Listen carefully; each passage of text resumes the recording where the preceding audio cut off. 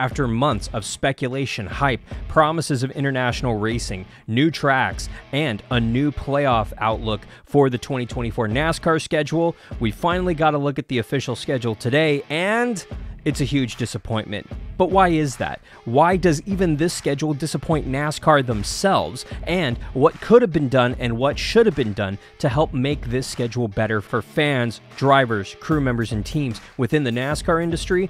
Let's go ahead and break down the 2024 NASCAR schedule today on Shifting Gears. I'm Alan Bailey, and before we break down this 2024 NASCAR schedule, make sure that you mash that subscribe button so that you do not miss a video, and make sure that you log on to AmericanRacingNetwork.com for the latest motorsports news. ARN, the Motorsports Authority. This is a huge disappointment. There's no way around it. Looking at this 2024 NASCAR schedule, honestly, it, it, feels lazy. It feels uninspired. It feels like very little thought went into it from the race fans' perspective, from the team's perspective, and that this 100% was a schedule created by TV, for TV and with the sole purpose of signing a bigger TV contract. And I understand why NASCAR did it. They are in the position of negotiating these massive TV contracts. They're frankly rolling over and showing their belly like a soft little puppy that they can cooperate and work with TV and make their interest be a priority. And that's essentially what NASCAR did here. There is no way around that. They prioritized TV, they prioritized ratings, they prioritized the TV network's needs over fans' needs and comforts, over the driver's needs and comforts, and over, frankly, sane logic, which is asinine and really stupid. This might go down as one of the worst schedules in recent NASCAR memory. And we got to back up and really, really dissect this. I remember the mid 2000s we didn't see much change of the schedule, honestly. And even NASCAR themselves joked in recent interviews that they knew when family members' birthdays were, depending on what racetrack we were going to, and everyone was like that. I was in that exact same boat in the early 2000s, and a lot of NASCAR fans were. And then, frankly, a certain member of the France family uh, went ahead and did some illegal activities and got arrested and kicked out of the family business. And once that happened, it really opened the floodgates for NASCAR making wholesale changes. And that included the 2024 schedule. But the person that really spearheaded radical changes to the NASCAR schedule and to the NASCAR industry was Ben Kennedy. He's the guy who really spearheaded the LA Clash, Chicago, and really, really was in charge of making wholesale changes to the schedule. And to his credit, they were spectacular. Some haven't necessarily worked out, but he was the guy spearheading everything. And coming into the 2023 season, we were told that there would be more radical changes coming down the road. But then NASCAR kind of backpedaled a little bit and said, publicly, yeah, the 2024 schedule is probably not going to live up to a lot of people's expectations, but 2025 is going to be better which makes sense. This is kind of a lame duck year as far as the TV contracts. It's kind of uh, it puts them in a box, unfortunately, because we do have the Olympics in late July, early August, and you can tell there's a two-week break uh, on July 28th and August 4th. That's that two-week Olympic break that NBC so desperately needs because they prioritize the Olympics over NASCAR. And while I do think it's good to move things around depending on what's happening in the world, I don't think that other sports and other events need to dictate the NASCAR schedule. I do think that NASCAR needs to move away from football because NASCAR at this point is not going to compete with football. The end. Period. For that alone, I do think that Labor Day weekend or thereabouts needs to be the end of the NASCAR season, and we need to back it down to maybe even 30 races. I do think that 38 races is still too many races. Period. And I know a lot of people want more racing, but my whole mentality with this schedule is that we should only be going to a racetrack once per year. And if the racetrack warrants a second date, it goes into the playoffs. Period. I do not think we need to go to Richmond twice. I think it's stupid. I think it's asinine. But let's actually go through all this. We open the season at the Clash. Honestly, fine. As somebody who lives in Los Angeles, I really like this event. But if it's me, I'm combining the all Star Race and the Clash into a single event and putting it at the beginning of the season before the Daytona 500 because there is absolutely no reason we have to give up a points paying race in the middle of the season to go run an all star race when, frankly, every single lap, every single week in NASCAR, especially in the Cup Series, is an all star race. There's no need for it anymore. So let's go ahead and combine the Clash and the All Star race into the LA All Star race next year, NASCAR. I'm just saying, I'm giving you 2025 notes right now. Write them down. I like that we honestly start the season in Daytona. That feels like what we need to do. A lot of non NASCAR fans know NASCAR for starting with the Daytona 500. I think that that's a benchmark that we as a sport should not give up at this time. I like that being there on Sunday, February 18th. Then Atlanta right afterward? Stupid. Asinine. Why would you do this? Why wouldn't you go to Sonoma and increase that West Coast swing? Or better yet, why wouldn't you go literally anywhere else? Rockingham instead of Atlanta because you're essentially going from a plate track or a restrictor plate track or a drafting track, whatever we're calling it now, to another one with Atlanta stupid. Really, really, really stupid. NASCAR fans, literally, week two of the season are going to get burnt out on plate style racing, and so are the drivers. I don't like it. I really don't. I think it's really stupid. Vegas, Phoenix, uh, March 3rd and March 10th. Fine, it's that mini West Coast swing. It would have made more sense to go uh, from the Daytona 500 up to Sonoma, frankly, and increasing that swing and putting Sonoma in a time period of the year where A, if it rains, big deal, slap rain tires on it, and B, we could actually see green racing out there. And when I say green racing, I mean the racetrack being green because frankly, Sonoma's upkeep isn't there. And by mid June, the grass is dead, the hills are dirt and dead grass, and it looks absolutely disastrous. Let's go to Sonoma when the hills are green, when the place looks absolutely phenomenal, not when it's literally dead in the early summer. But that's what NASCAR decided to stick with. After the West Coast swing, NASCAR is heading out to Bristol, but not for a dirt race, for a regular day concrete race in the middle of March. Why?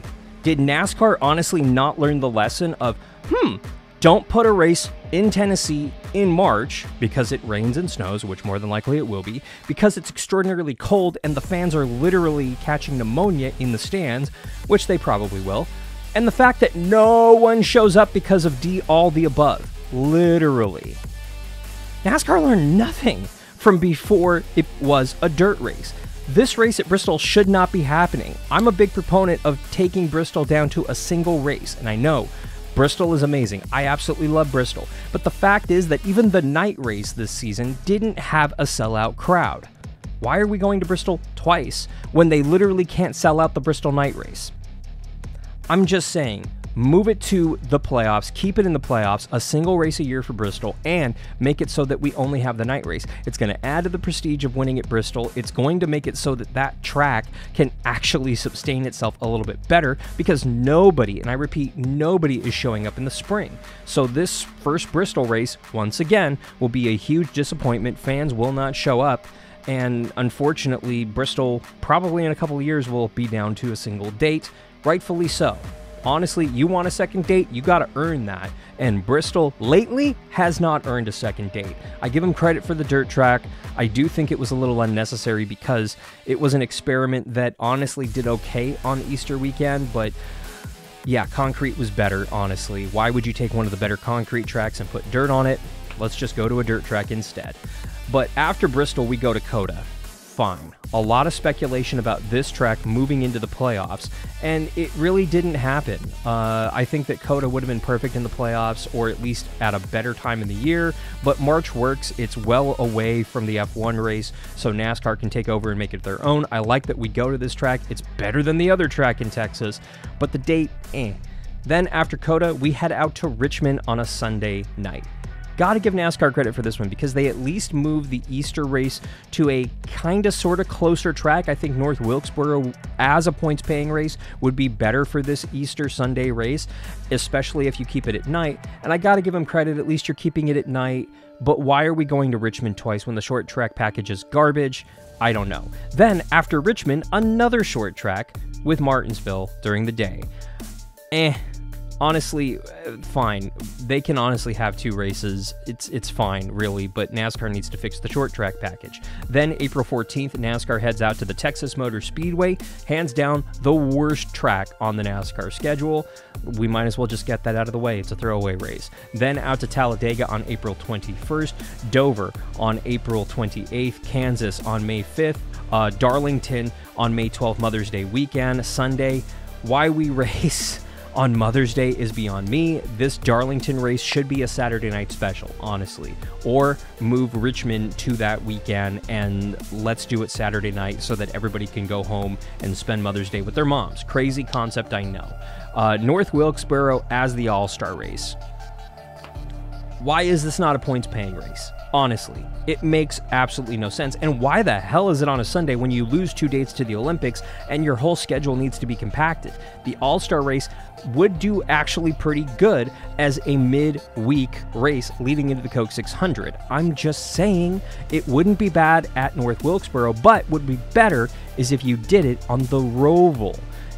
Just saying, do it at the Roval at Charlotte with the Coke 600 on the big track a few days later. It's going to do a whole hell of a lot better than taking off an entire week for a non points race that, frankly, should be a points race. I'm just saying. Obviously, Charlotte Memorial Day weekend for the Coke 600, one of the better races we saw in 2023 than Gateway or World Wide Technology Raceway.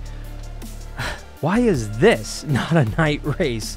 It's going to be extraordinarily hot in early June for the people of Gateway. I feel just so bad for y'all. I, I really do. Please be safe. Drink lots of water.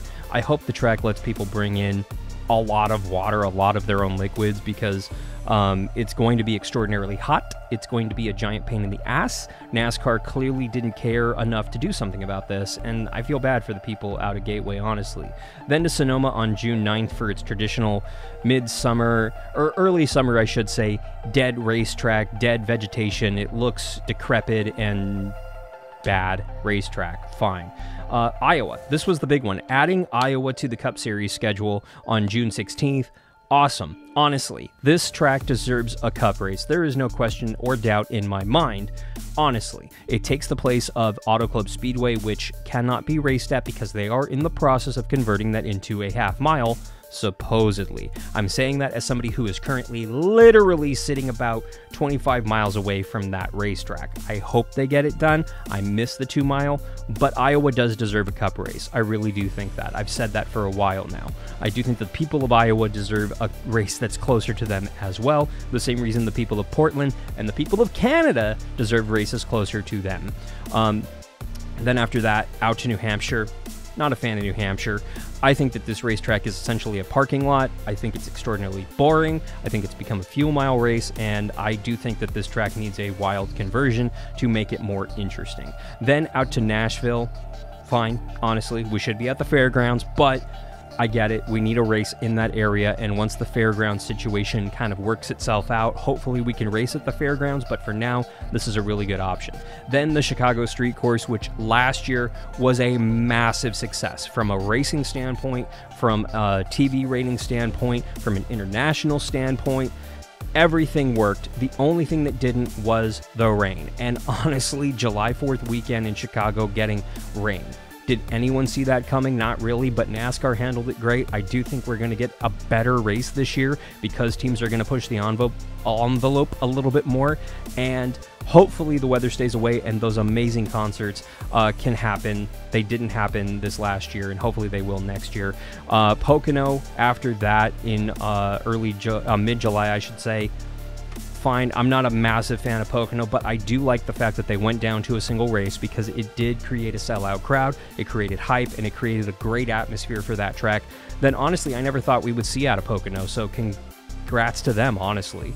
Uh, then after Pocono, we head to Indianapolis, the big track, the oval, for the return of the Brickyard 400.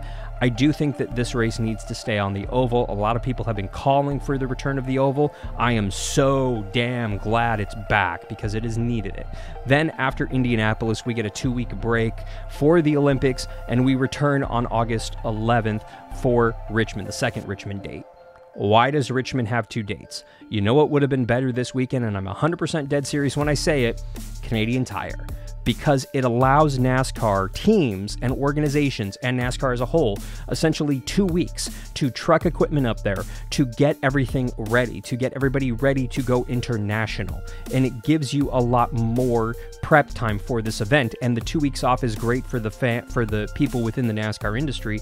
And it would have been great to kind of build it up getting out of Indianapolis and heading right into Canada for the first international race north of the border for the Cup Series. It would have been absolutely spectacular, but unfortunately, it didn't happen. This is something that NASCAR is continuing to work on. I do think we will be racing in Canada at some point in the next probably year to five years, depending on how things work out. But a lot of things need to happen in order to race internationally. But the big one that needs to happen insurance. That is a massive, massive hurdle for NASCAR to get through. I'm hearing that was the biggest holdup, and that's unfortunate. After Richmond, uh, we go to Michigan. Love Michigan. Honestly, I do think Michigan deserves a second date at this point, but similar to Pocono, going to a single date creates that hype and absolutely lives up to that hype. I love the idea of it. Then Daytona for what should have been the regular season finale on August 24th. But because everything got pushed around so dramatically, it's not. It's just Daytona in late August. And then the regular season finale is the next week, Labor Day weekend, at Darlington for the Southern 500, which normally has opened the playoffs. And honestly, I like Darlington opening the playoffs. I like Darlington and the Southern 500 in the playoffs because it is one of the more challenging racetracks for the drivers and the teams, and it really showcases who the good drivers are and it showcases their driving skills. This being the regular season finale is a massive letdown, but I get it. You're not going to move Darlington off of its Labor Day weekend date, but at the same time, you caved to TV's needs, wants, and desires, and you said to hell with the fans, to hell with how the optics look, and really it's disappointing to say the least. I'm glad Darlington's keeping that date, but this is a massive loss for NASCAR, its fans, the teams, and the drivers. Then NASCAR kicks off the playoffs, the 10 race playoffs, with the round of 16 at Atlanta. What? Didn't we just do that? Won't won't wouldn't we have just done that a couple weeks ago at Daytona? Like this is just it's not well thought out at all. Then after that, Watkins Glen, like the idea of Watkins Glen landing in the playoffs, I do think that NASCAR heading into New York State is a big plus. I do think that putting a road course, a true road course in the playoffs in the first round is great because it essentially forces these drivers to be good at road racing. Then the round of 16 ends at Bristol with the night race. Awesome, love it. The round of 12 is Kansas, Talladega, the Charlotte Roval. Love Kansas. Talladega in that round is fine. It creates the chaos. We just saw that this last weekend. The Charlotte Roval's interesting. A lot of people have been calling for the Roval to go away. I'm glad it's not, but I do think that maybe doing the Roval, like I said earlier, as an all star race makes more sense. That way we get to race on the oval and get to have some fun on the Roval, but at the same time, Charlotte can get a second mile and a half date back in the playoffs. That racing that we saw at the Coke 600 this year was absolutely phenomenal. I'd like to see that in the playoffs, just saying. Then the round of eight kicks off at Las Vegas, then Homestead and Martinsville. Vegas will continue to be the race that defines who will win the championship. If one of the playoff drivers wins Las Vegas, same thing this year, by the way, they'll have the greatest chance of winning the championship at Phoenix period. The end. That's just how this system is set up. It essentially means that, oh, we're locked in in Vegas for Homestead and Martinsville. Who cares? We can DNF them. Doesn't matter because we're already locked in. So for essentially two and a half weeks, you get to prep for Phoenix. You have a month almost to prep for Phoenix. That's insane. And once again, NASCAR, it's ending its season and crowning its champ out at Phoenix. Let's be clear here. The track itself, the racing itself, garbage honestly garbage. NASCAR drivers themselves have stated that on track racing at Phoenix sucks. And it does. It's garbage racing. The facilities at Phoenix are actually really good. NASCAR pumped a lot of money, as they should have, into that facility, and frankly, they're out there to get their money back. That's why it's the championship finale.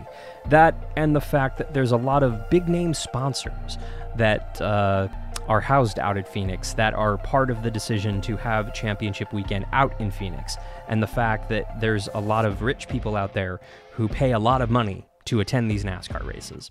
It's NASCAR literally going after the country club crowd. Is that right? Uh, maybe, maybe not. I do think that there is something to that. Maybe Phoenix should open the playoffs, period, or be the regular season finale. That's actually not a bad idea. That way you get the country club crowd, but you don't dictate a champion based off of a garbage racetrack that hasn't seen a good race since the 90s, period. Hands down, in my opinion, is one of the worst schedules we've seen out of NASCAR ever. Not in the last few years, ever. And I'm talking about going back to the early mid 90s and 2000s when we literally had the same schedule rinse and repeat, rinse and repeat. This feels like a lot of rinse and repeat. Here's a look at your 2024 NASCAR Xfinity Series schedule. Honestly, I like the fact that we're mimicking a lot of the Cup Series here with this schedule. The fact that the Xfinity Series is heading back to Portland is huge on June 1st, but again, that's right before Sonoma, so back to back road courses. I'm not a huge fan of that. Um, the fact that it is racing the street race is pretty darn cool as well.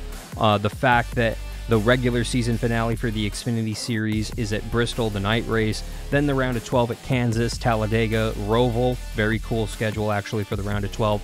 Then the round of 8 at Vegas, Homestead, Martinsville, with the championship wrapping up in Phoenix honestly, fine. It's mimicking the Cup schedule a little bit.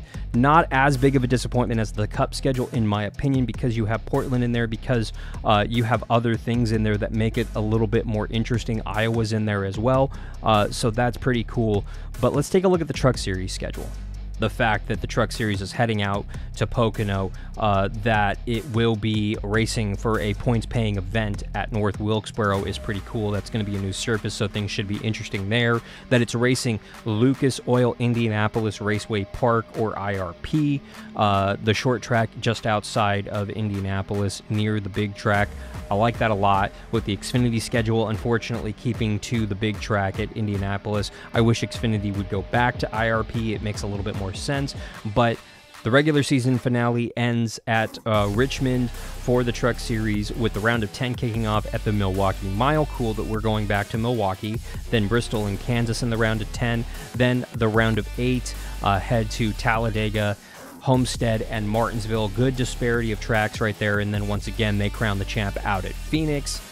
Honestly, it's cool. It, it's a cool schedule for the Truck Series. Um, but again, it mimics and it echoes so many issues that the Cup schedule and Xfinity schedule have.